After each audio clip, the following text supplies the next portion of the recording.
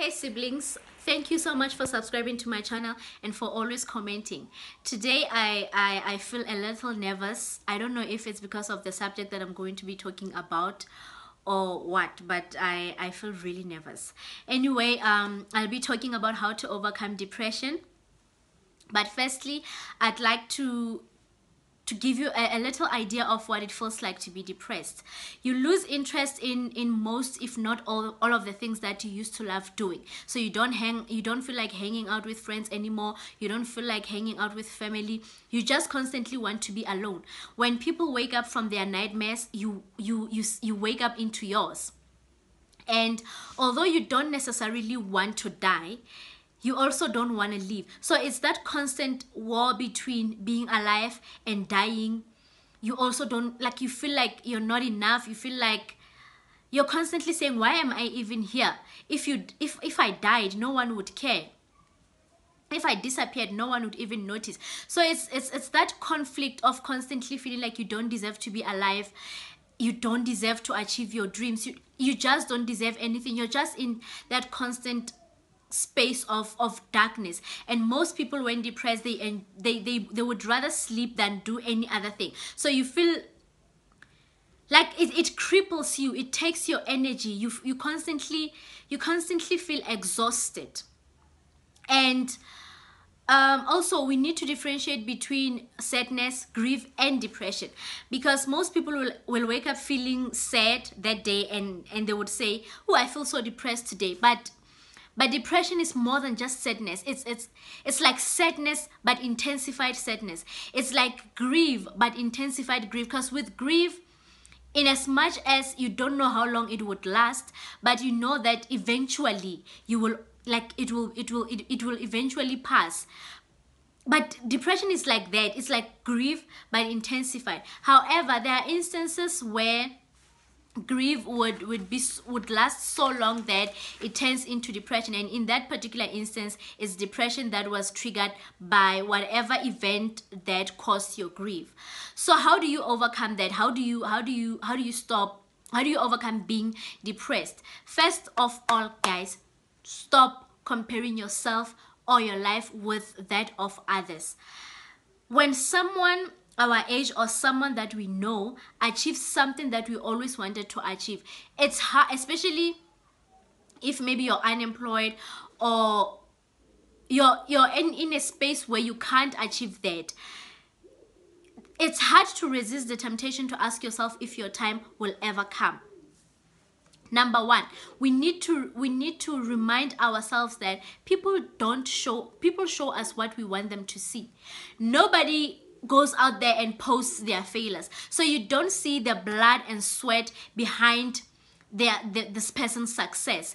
You don't see the tears that they've cried. You don't see they are behind their sins. You don't see the grind. You see the success. Meanwhile, you're busy overthinking yourself into into depression when you don't see what happens behind when you don't see what happens behind closed doors. And i don't think um, this thing of comparison i don't think it also applies to depression per se. I think it also contributes to people being jealous and envious. And it's an application for boloi like you find yourself instead of being genuinely happy for the next person you find yourself being jealous that okay this person has this and i don't have it. So you're either envious or you're either jealous boloifela so please stop comparing yourself with other people or what they are doing with their lives. That's a like it's it's it's, it's a recipe for disaster. Number two if you feel like you you because you're human and it's hard to resist that temptation. So if you feel like it's hard to resist the temptation to compare yourself number two take a break from social media. Like for instance say yesterday i was really bored. So i was like um i wanted to find ways to entertain myself. I was just tired from reading. I was like I was bored. So I I was like you know what? Let me just take my robe wear it take videos and just dance in it. Because I was really bored so and then I took I took a video and I uploaded it. And people were so excited like advocate you know you go girl black girl magic. You know you know all those encouraging comments. So maybe it is you you're sitting there you're you're, you're a spectator of what's going on. You've been applying for articles or just you're a you're, you're an, an LLB graduate and you've been trying to find employment and you can't. Then you see that and you think to yourself people in my career are flourishing. What about me? So you're going to this this is also linked to number one comparing yourself. So because you see that you're going to think that time there's no book inside there's nothing that um that suggests that i'm in court nothing. It's just me. You don't even know where i was when i took the video. It's just me and i uploaded the video. And if i had not said what i just said right now you would you would think that something special was happening yesterday and nothing was happening. That's my robe so i wear it whenever i feel like it. I could even sleep in it if i wanted to because it's mine. But if you see if you see something like that and and you're looking for and you're busy you've been busy looking for employment employment guys it's so easy to look at that and think this person is flour is flourishing. She's either my age or she's younger than me. I thought by this age i would also be wearing my robe. I would also be admitted either as an attorney or as an advocate. So you look at that and and you overthink so much that you end up having a bad day. So to avoid such things if if if you're if you're depressed because of not having a job or whatever it is but social media contributes to that depression. Guys please take a break until you find yourself at a place where you know that to everything there's a season and a time for everything under the sun. Yes today might be my time to wear my robe and entertain myself in it but you don't know what tomorrow has in store for you. And as long as you put in the work as long as you plant and as long as you water your plant i do believe that it will bloom no plant shows itself on the day that it's planted. And no matter how long it's been, guys, as long as you keep watering it, one day your time will come. I'm telling you guys, like, boy. I'm telling you, one day your day will come. So if you can't resist the temptation to look at tweets or Instagram posts or Facebook posts or whatever post, guys, please take a break. Give yourself a break until like use that data to read to read books until you're in a space where you can genuinely be happy for you know the thing like guys when i when i see something and i say to you congratulations it's because i mean it from the bottom of my heart. Like you guys are my siblings and i when i see you succeed whether or not i have that which you have guys i'm thinking to myself yo this means muslinda my time is coming. If my sister or my brother is achieving this it means that i'm next even if I'm not next, it means that whoever is going to be next is going to be my other sibling. So when I say congratulations to you, it's because I mean it from the bottom of my heart. So I don't want you to find yourself at a place where you see a tweet or or whatever that you see on social media that triggers your depression. Guys, please take a break until you can actually be at a place where you can genuinely be happy for someone. Number three, stop the negative self-talk. Depression usually goes something like you're a nobody, you don't matter. If you disappeared, no one would care. If you died, people wouldn't get hurt. We will forget about you the, ne the next day or whatever. With me, that those were the things that I was constantly thinking about. But whatever negative self-talk that you have, stop it. Guys, remember one thing. Depression lies. And although it lies, whatever it is that you're thinking at the time, Depression has the ability to tell you that whatever it's telling you, it's true. Please try to constantly remind yourself that you know what? These are the thoughts of a depressed person. This is not my normal self. Read a book and if you can't if you can't focus when reading, try and get a puzzle and try and and get the pieces together and just just something to get um the thoughts out of your mind. Try and do that. Guys please please please stop the negative self-talk. Constantly remind yourself whenever that thing comes constantly remind yourself that um these are the thoughts of a depressed person. These are the thoughts of a depressed person. Even if it means singing it to yourself guys do it. Please just just stop the negative self-talk. Number four therapy guys if you can afford therapy please go for therapy. Because i know it, it like i know it will help. It, it will help. That's where you will realize that's where you will learn whether you have severe depression or or what's this or or minor depression. And when you have severe depression it could be that they will suggest that you do both medication and talk therapy. And in certain instances it could be just um, just medication sometimes it's both sometimes it's just one. But whatever it is go for therapy go and talk it out. Go for therapy go and talk it out. But there are people who who who, who usually say they went to therapy but it, it just doesn't work. Both medication and talk therapy they've done that and it just doesn't work. This brings me to my favorite book that i was reading. It's titled it didn't start with you how inherited family trauma shape who we are and how we can break the cycle in this book, the author speaks about the unexplained symptoms people biologically inherit from their either their parents, their grandparents, or great grandparents. So um, he says that when trauma occurs, there's a chemical change in our DNA and this change changes how our genes work. So this could like this could happen from generation to generation. That's why I don't know if I don't know if if if you've been at a place where especially if you've been through therapy and you feel if and you feel like it doesn't work like you you went to therapy and you still don't understand what's going on. There's there's that depression that that that's that can't be explained. So in that particular instance it's because you inherited it. It could be that it's an event that happened way before you were even born. Something happened before you were born and because of the chemical change that was caused by that trauma, it was transferred from one generation to another. And so it's possible that you will be reactive and your reaction will be similar, very much similar to that of to that of um to that of the original event. And he also says that although not all although not all trauma is inherited, in instances where you want you you want to know whether or not your trauma was inherited. He says the one one of the questions that you need to ask yourself is what is your biggest fear? And after you answered what your biggest fear is based on that answer ask yourself what's the worst that could happen if that fear had occurred? And after you've answered that also ask yourself to whom will this worst thing happen? And based on that answer that's when you will that's when you will realize that's when you will realize that this thing like you will realize that this thing is a train. And it will have to lead you at a place where you have to go to the family tree and shake it until and shake it until you find context to what to to that event that is happening to you.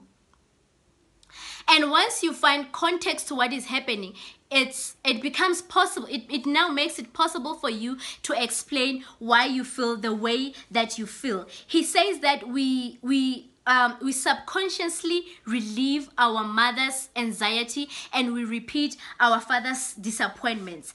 And he also asks the question um, he says, Why do other people repeat what had happened in the past and other people don't?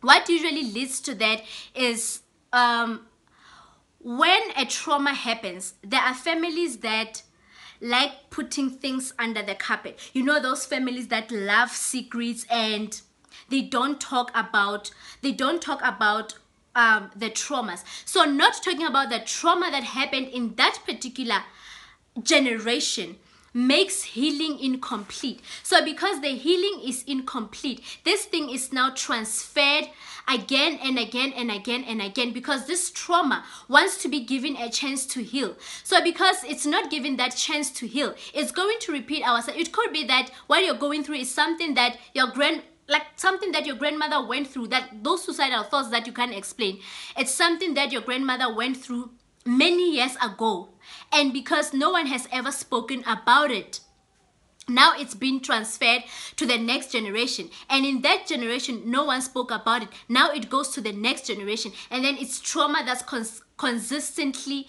it's trauma that cons- that is consistently transferred from generation one generation to another. So in order to confront that and to take a step into into healing those sec- those family secrets that have been hidden need to be found and addressed. And after that after addressing after addressing um, the traumas that had occurred in the family in the past that's when healing will be able to occur. So he calls it trauma language. So we need to identify that trauma language and link it to this particular event so that we can break the, the trauma chain and actually be at a state where we can heal. So you might want to read the book for yourself because he explains he explains a lot of things that I can't explain in, in, in, in a short video. So please try and find that book. It did not start with you. If you're lazy to read, there's also a video where he explains this here in, in on YouTube. So find that um, it's called It Didn't Start With You. So it will explain more about why you're feeling depressed and um, therapists can explain why you're feeling like that. Medication can help that book and that video will definitely change your life please look into it guys Number four, you need to acknowledge that the depression is there. There is this tendency to to try and, and and hide behind motivational quotes and jokes and then there are people who actually don't hide behind they project how they are feeling. They project it onto other people. Wabona those people who like being savage those people who like saying negative things on social media? Oh, everything they're saying everything they're doing is negative. It's because they're trying too hard to to hide behind their depression that they project how they feel. So the first another step to healing not the first sorry. The first step to healing is acknowledging that that the depression is there. Because with depression when you hide it you you, you you think you're hiding you think hiding it will cause healing. But when you hide depression guys guys you strengthen it. And once you strengthen it it becomes worse and worse and worse. That's when you you will find yourself being suicide that's when you you'll find yourself wanting to die. And what the step to healing is acknowledging that the depression is there. Number five this one I am asking with so much politeness. Friends and fam- friends, family, and people on social media, when somebody says they are depressed, stop telling them to snap out of it. Stop telling them they are being uh, dramatic. Stop telling them they are seeking attention. There are usually people who, when depressed, they will post maybe pills uh, they will post i'm about to drink this or they will they will harm themselves and they will post that. And people will say ah they are just seeking attention guys. They are not. Usually when someone is depressed they have a way of crying for help. And some of the ways will be to to post that. Sometimes they send smss saying i just want to die or i'm about to commit suicide or uh, like they, they they like there's always a signal for them to cry for help. Some post it on social media and then you'll tell them this guys please don't do that. When someone does that try and reach out. They are not seeking attention. They are not being dramatic. And also our mothers have this thing of of of comp- of comparing us to other kids sometimes it's not us who compare ourselves to other people but our our parents they do that. Who ubone palesa? Palesa graduated cum laude. Who ubone dibuseng? Dibuseng is married. Who ubone whoever? Yo they are successful. When ah what are you doing with your life? Guys stop. That thing that that's what kills. And then after after after someone commits suicide oh why didn't they say but why, how how were they how were they supposed to speak to you when you when you kept telling them how useless they are? Our parents have the ability to make or break us. Guys, stop. Bomme, please, kalokopa. Bontate, please.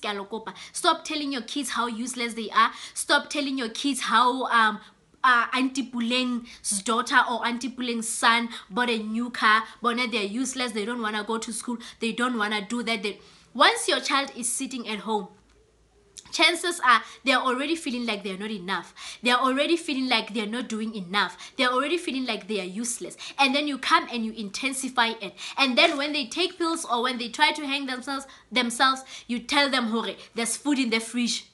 The how they have they are like you or they have a roof.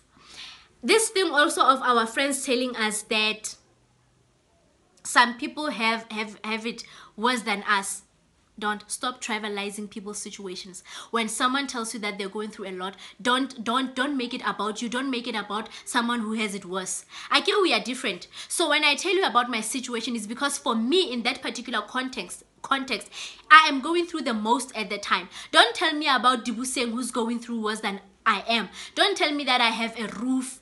Now i must be grateful that yes I know that I have a roof. I already know that I have a roof. Don't tell me that I have a roof. Stop telling me about things that I already know. Please, guys, if you genuinely feel like you don't understand depression, because I know it's hard. When, guys, when you've never been through depression, it's so hard to understand what the person is going through. That is why people make certain comments. That's why people say, ah, you have it better. Yo, do you know that I am going through this my husband did this i'm not talking about your husband i was talking about me i you didn't come to me and tell me about your husband i came to you to tell you about my, my situation please understand my situation if you can't understand my situation tell me politely or a friend I've never been through depression.